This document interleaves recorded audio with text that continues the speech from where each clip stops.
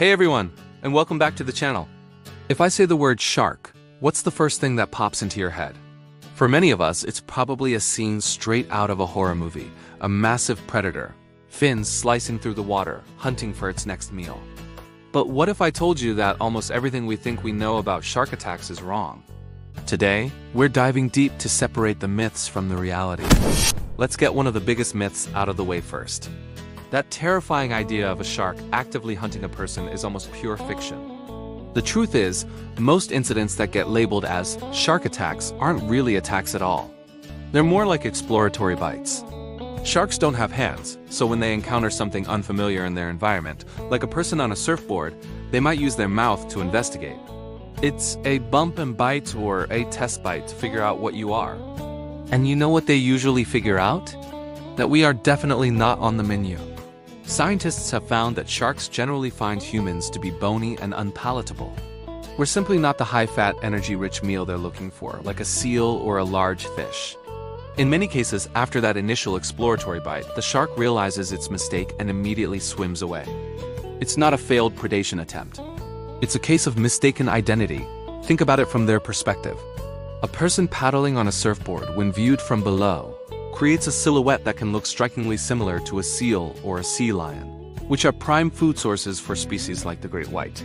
The shark sees a familiar shape, investigates and realizes, oops, my mistake, before moving on.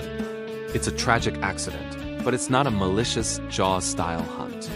So why does it feel like we hear about shark attacks more and more? Is the ocean getting more dangerous? Not really.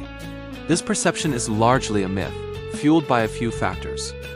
First, more people are in the ocean than ever before swimming, surfing, and diving. More people in the water simply means a higher probability of an encounter. Second, our ability to report and share information is instantaneous. An incident that might have been a local story decades ago can now become a global headline in minutes. When you actually look at the statistics, the rate of attacks per capita hasn't significantly increased. You're still more likely to be injured by a falling coconut or a vending machine than by a shark. Pop culture, especially movies, has done a massive disservice to these incredible animals. They've been painted as mindless killing machines, which has created a culture of fear. This fear has real-world consequences, leading to culling programs and a general disregard for their conservation. And that's the most important part of this whole story. Sharks are not monsters. They are absolutely vital to the health of our oceans. As apex predators, they sit at the top of the food chain, playing a crucial role in maintaining the balance of marine ecosystems. They regulate the populations of species below them, which prevents any one species from becoming too dominant and wiping out others.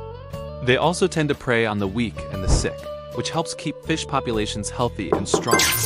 A healthy ocean needs sharks.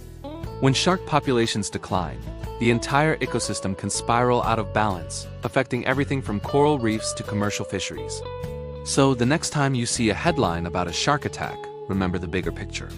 It was most likely an unfortunate case of mistaken identity, an exploratory bite from a curious animal in its own home. These are not bloodthirsty monsters, but ancient, magnificent creatures essential to the health of our planet's oceans. By understanding their true nature, we can replace fear with respect and work together to protect them. Thanks so much for watching. If you learned something new today, give this video a thumbs up and hit that subscribe button for more deep dives into the natural world. Stay curious, and I'll see you in the next one.